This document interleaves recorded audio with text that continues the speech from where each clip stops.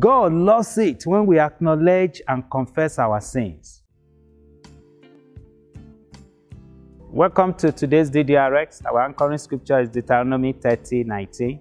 I call heaven and earth as witnesses toward today against you that I have set before you life and death, blessing and cursing. Therefore, choose life, that both you and your descendants may live. The prescription is check your choices, especially in this unprecedented time. We want to look at Peter and Judas. We see repentance versus regret. God loves it when we acknowledge and confess our sins. God does not want us to cover our sins. Mistakes are going to happen in our day to day living, but we must not overlook them in our relationship with God. We must own up to our fault and ask God for forgiveness.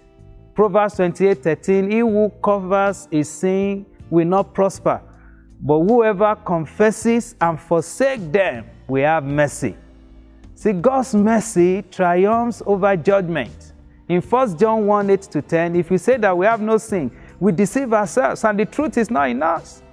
If we confess our sins, He is faithful and just to forgive us our sins and to cleanse us from all unrighteousness.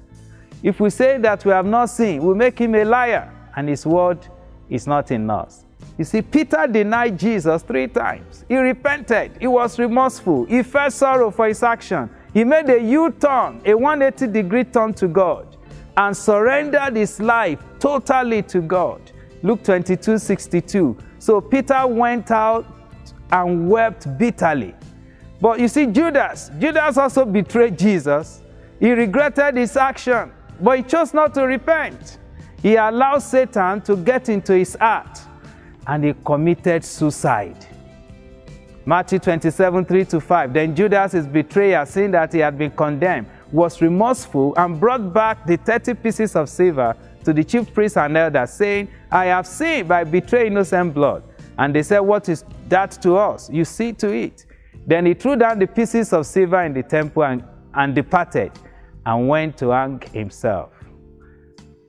Choose repentance. God bless.